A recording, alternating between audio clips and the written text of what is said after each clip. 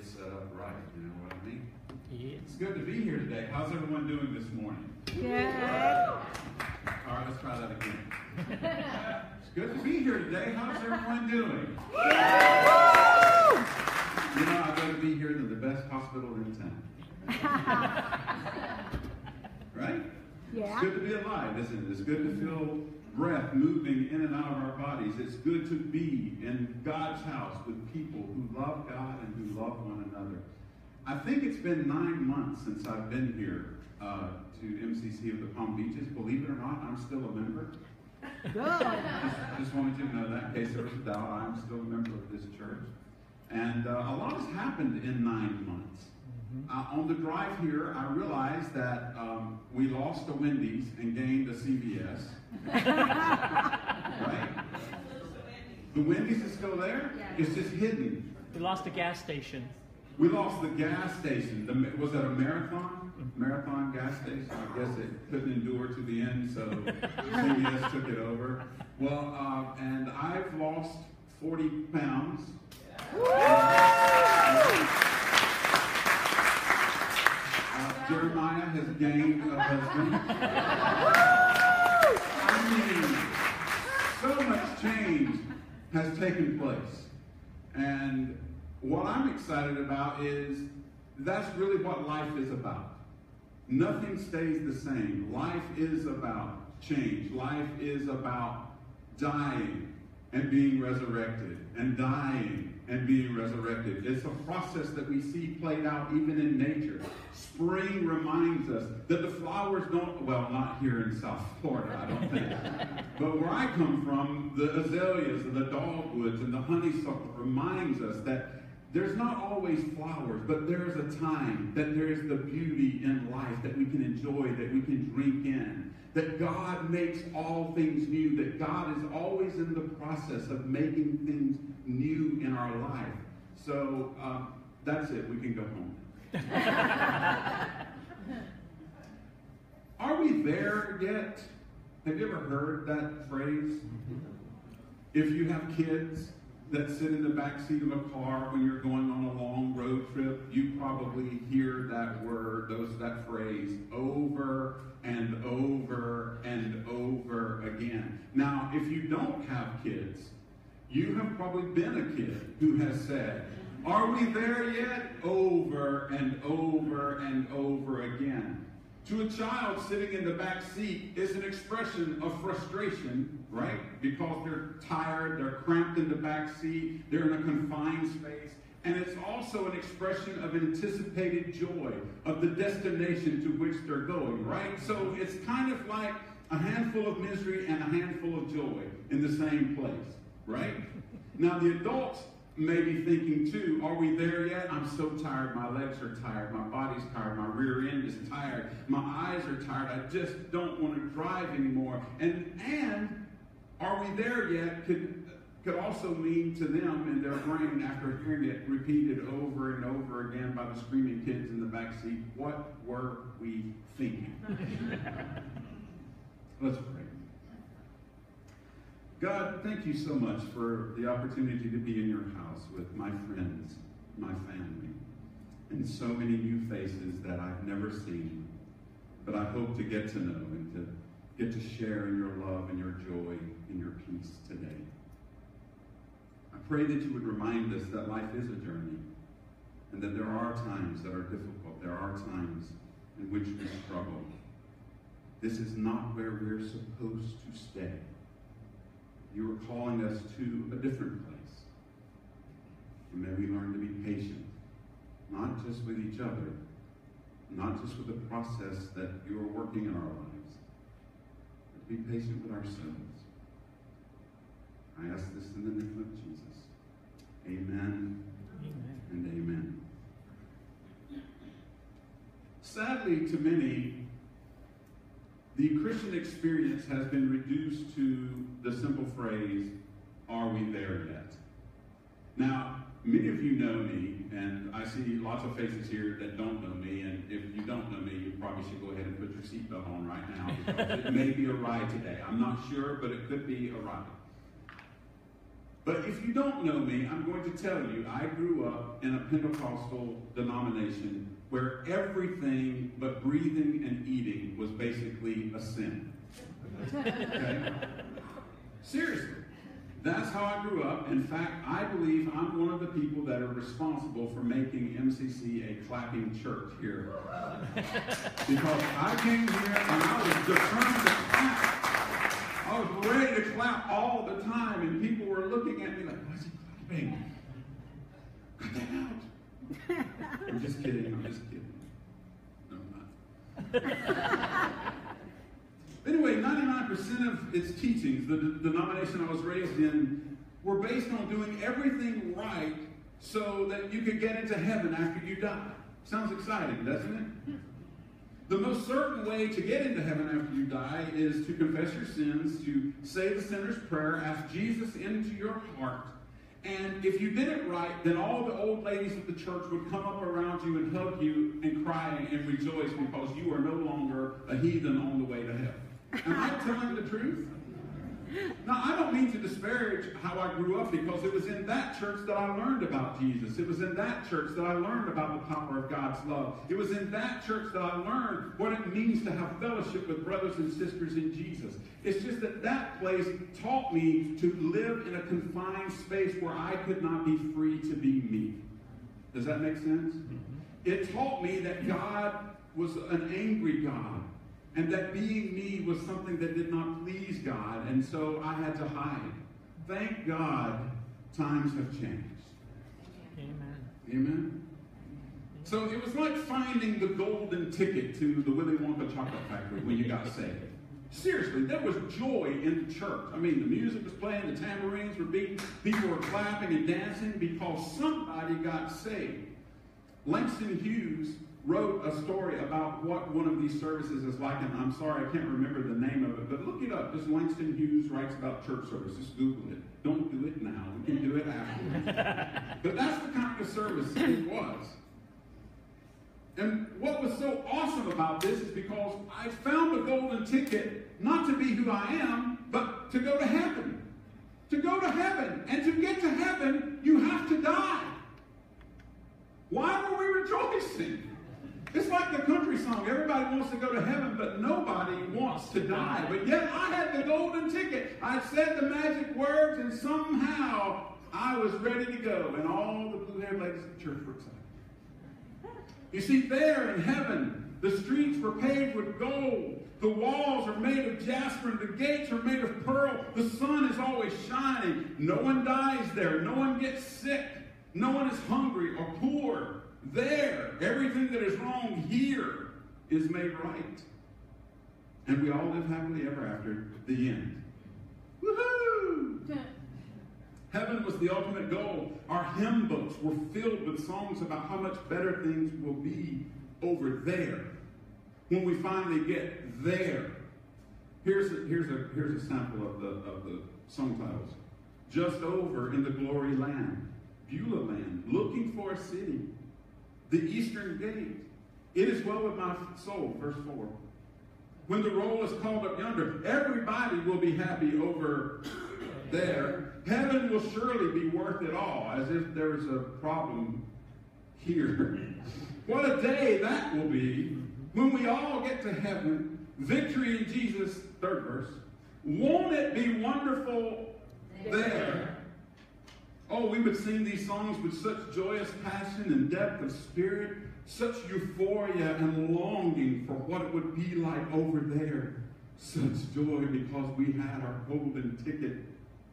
Now, much energy was spent on helping one another keep the golden ticket and not lose the golden ticket. You see, where I grew up, there was a very, very sophisticated theological doctrine that went something like this. I don't smoke, drink, cuss, or chew, or go with boys or girls who do. All right. Why are y'all laughing? This is serious stuff. This is heavy, deep stuff. I don't smoke, drink, cuss, or chew, or go with boys or girls who do, because that was wrong. Smoking, cussing, drinking, chewing, dancing, going to movies, wearing shorts, wearing jewelry, wearing makeup, all the things that gay people love to do was a sin. And if you did one of these things, especially if you cussed, because mm, you know kids, if they heard one another cuss, mm, you're going to hell. Mm. So this sophisticated theology sort of set it up that you could gain a golden ticket and lose it just as easily. I mean, you could lose your golden ticket, your eternal spot in heaven. You could overwrite what Jesus did on the cross, the song that we just heard. You could overwrite it just by simply uttering AT double hockey sticks. That's some power, isn't it? I mean, it's like saying Beetlejuice three times. And I know it could happen because I saw it happen to my grandfather. I saw it happen to my grandfather. In one night, he got the ticket and he lost the ticket. I'm going to tell you a little story. Now, I'm proud of my family. I'm proud of my heritage. So don't take this the wrong way. I just want to tell you how sophisticated my doctrine and my understanding of God's love was when I was a kid. I was about 12, 13 years old, sitting in a typical Pentecostal service, and the preacher was up preaching. Now, because I didn't like sitting with my mom and dad, or anybody else for that matter, I sat right there where Karen is sitting right now, on the front pew, right under the preacher's feet. And the preacher would preach so hard, he would just sweat. And he would scream and yell about the love of God and how awful hell is, and if you didn't get your ticket, you were going there. Am I right, Jeremiah? Am I telling the truth? Anybody ever been to a service like that? Anybody feel like you're in one of those services? so I hear the familiar creaking of the door of the sanctuary opening. It's a country church, a small church. The door opens, and I hear a familiar voice, a familiar, angry voice, the voice of my grandfather, who was the town drunk. And he came in lit. He was high as a kite.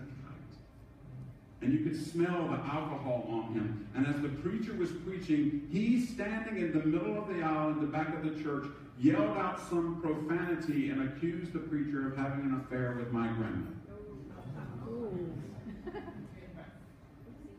Now, I try not to judge my grandfather too harshly because he went to war during World War II, and he saw terrible things there.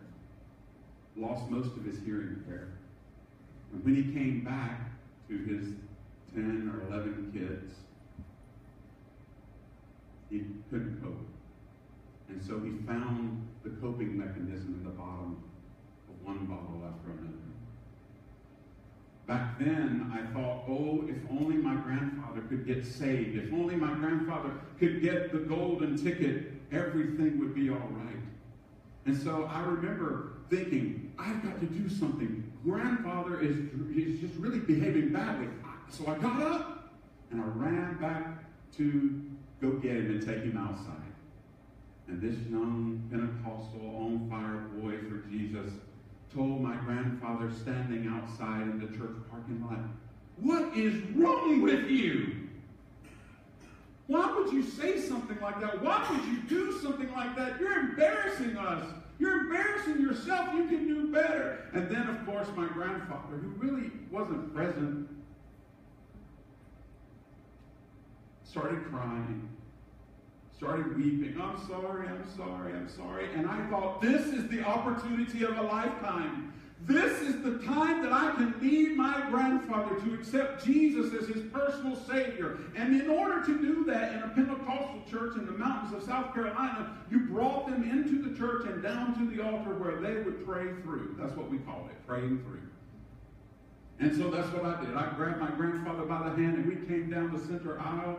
And man, people were like, oh my Lord, Mr. Garrett is getting saved. Mr. Garrett is going to the altar. And you can just feel the excitement. Can you feel that now? Or are you just looking at me like I'm crazy?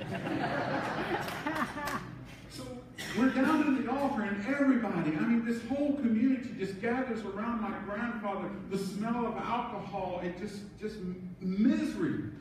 And we pray for him. And we ask Jesus to come into his heart, and he muttered some kind of words like, you know, he did what we thought he heard us say because he couldn't hear. But he was down there, and it was a old time, and more people came down to the altar. And, and the people that played music got up and played music, and there was just joy in the camp. It was a beautiful night. It was a wonderful thing. And after all the singing and the clapping and the rejoicing settled down, my grandfather and I were sitting on the front pew, and the pastor gets up to sort of close out the service, and he looks down at my grandfather and he says, Brother, did you get saved tonight? And without thinking, my grandfather said, Hell yeah! and it all just went to pot right there. so, that's a funny story, but it's also sad. Not because of how it depicts my grandfather or the events of that even, evening, but rather for how it illustrates a failure to understand the love of God revealed to us in the person of Jesus Christ. Now, I know that's not how Jesus really looked when he walked the earth. We have a kind of romantic, westernized version of Jesus, don't we? But there's a reason I picked this picture, and it's not because he sort of looks Fabio-ish. we'll get to that later. But the notion that God's love can be gained or lost by something so simple as saying a word or drinking a drink makes God's love seem pretty cheap and petty and vindictive and mean, doesn't it? If such a thing is true or can ever be true, then that man is holding out on us and everyone who has ever decided to follow him. In today's gospel reading, Jesus' first words to us are Do not let your hearts be troubled.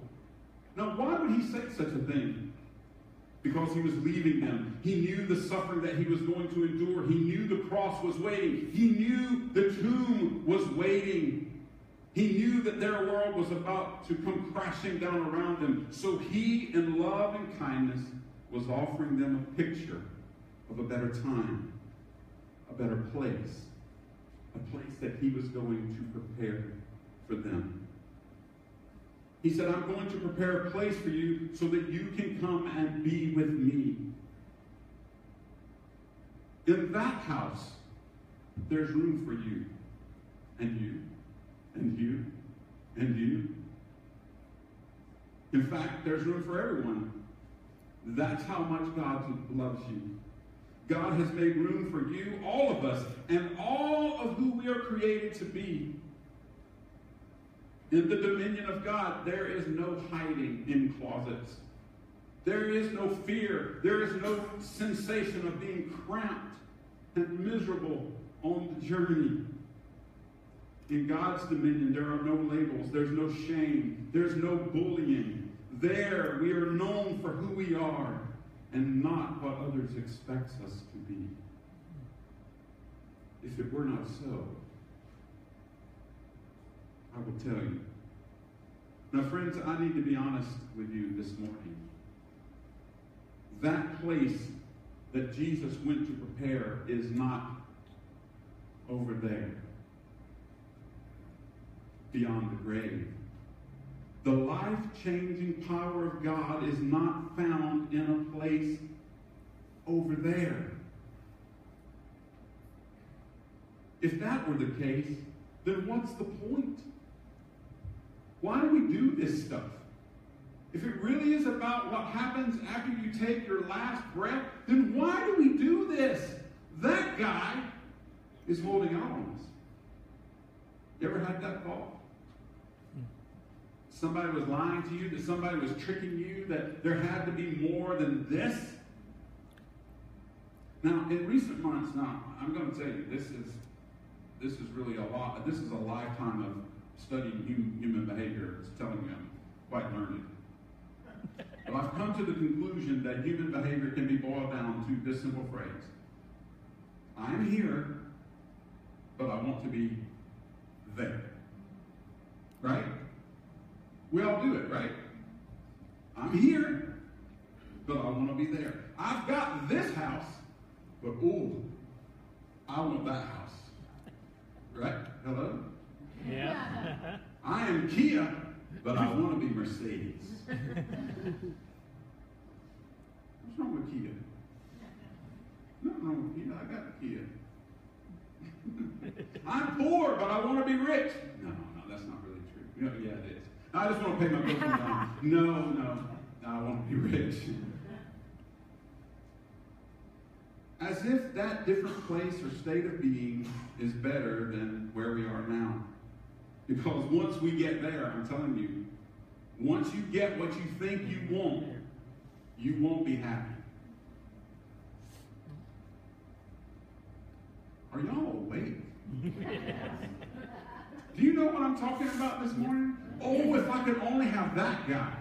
Whoa, my life would be changed. And then you get that guy, and that guy's a dud. right? Hello? Oh, if I could only lose 30 pounds, I'd feel so much better about myself. Then you lose 30 pounds and you do feel better about yourself, but you have to mortgage your house to buy a new wardrobe.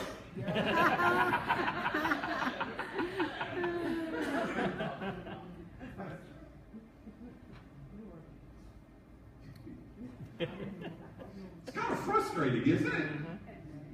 Oh, so you get here, right? So, I mean, years I thought, oh, I just want somebody. Oh, if I, God, if you would just bring me somebody. just cry. The preachers would tell me all across this country when I would go preach for God, God's going to send you a wife. God's going to send you a wife that can play the piano and help your ministry. Lying preachers.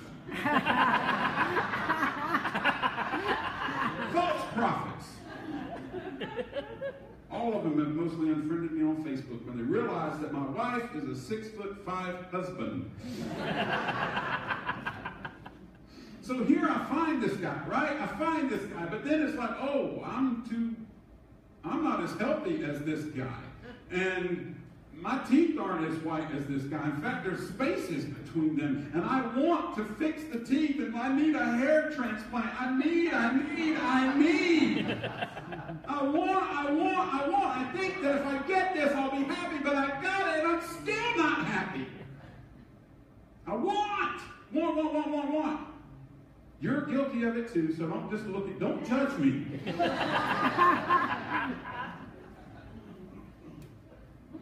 But like the song says, you don't always get what you want. Thank God you don't always get what you want, right? But in those times of hoping for what we can't have, we must learn to hold the two opposites of where we are and what we want in the same place. Look at Jesus' hand.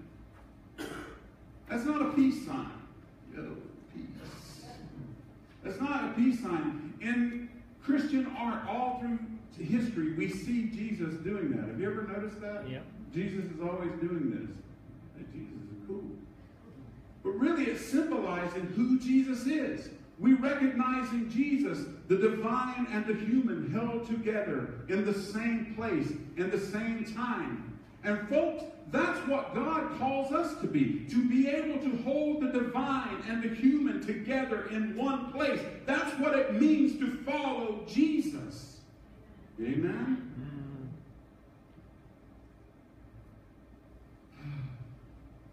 And so it is with us. It is in our want to be there.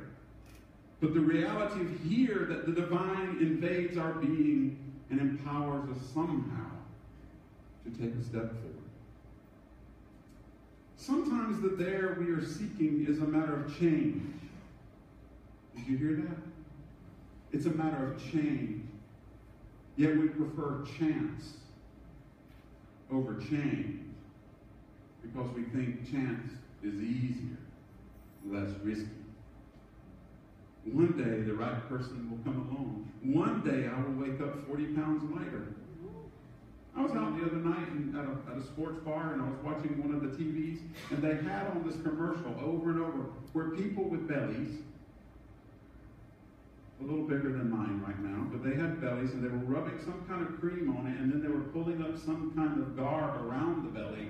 And then three weeks later, they showed this belly, and you can tell it's been airbrushed in. The belly had somehow vanished. so we just think somehow there's some magical potion that will make things vanish. No, it requires change. How did you lose 40 pounds? I lost 40 pounds. I stopped eating at Wendy's. right? Don't judge me. or one day I'll finish that book I've been writing. One day I'll do this. One day I'll do that. One day I'll pursue the career that I really wanted to have. It's the golden ticket mentality, my friends, that life is less than here, but there is going to be better. The late Jim Rohn, an amazing life coach and speaker, said, From testimonials and personal experience, we have enough evidence and information to conclude that it is, that it is possible to design and to live an extraordinary life. It is possible to have an extraordinary life. It is possible to be happy here, to find joy in the journey. Again, life doesn't get better by chance. One day, Prince Charming or Princess Charming, well, I don't know what princesses are called. Princesses Charming? Princess Charming? Princess Hotness? I told y'all to put your seatbelts on. They'll just drop out of the sky and boom, you'll be happy. No. Take baby steps to get from here to there. But getting from here to there requires change. But like the kid in the back seat, it's very easy to become weary and frustrated, sick of the ride and the confined space, stuck here, but longing to be there. Jesus calls out to us in our frustrations do not be afraid. I give you peace, and this peace is yours through the Holy Spirit, the advocate who will comfort you and teach you. This promised peace, my friends, is not found over there. One day, I'm planning about 50 years from now, people will be standing around a table with a picture of me on it, and they will say things like, he was a nut, wasn't he? he sure was crazy. May he rest in peace. And whatever urn Sean has me in, I hope that I can come out of that urn and say, no, it's not about resting in peace. It's about living in peace. Peace is not found over there Peace is found nowhere. Ooh. Nowhere. Let's shift the letter and create two different words. Now, here. Now, here. Are told over and over in the scriptures that today is the day of salvation. Today is the day of wholeness. Today is the day of being complete. Now is the acceptable time. This is the day our God has made. I will rejoice. Rejoice. I will rejoice and be glad in it.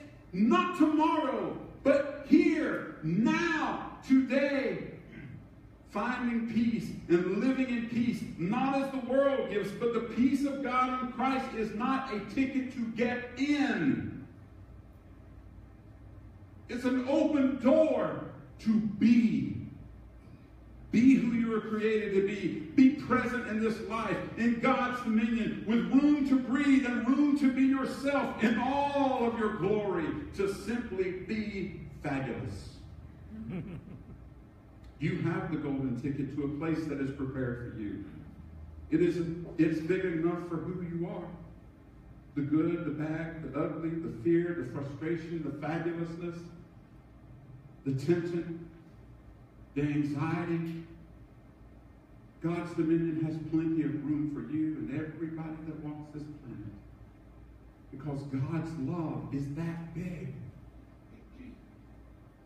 God's love through Jesus is not a ticket to there. It's a ticket to a beautifully conflicted place called nowhere or now here. Now is your time. Here is your place. This is the place prepared for you, not over there. I don't even know if it's there, to be honest. Do you? Have you seen it? Can you buy property there? I don't know. But what I do know, what I am sure of, is that I am here right now. We are here right now. We can be glad together right here, right now.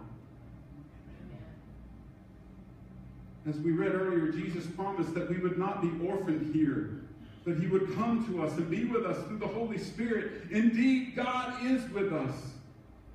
We are not alone. And we are never alone.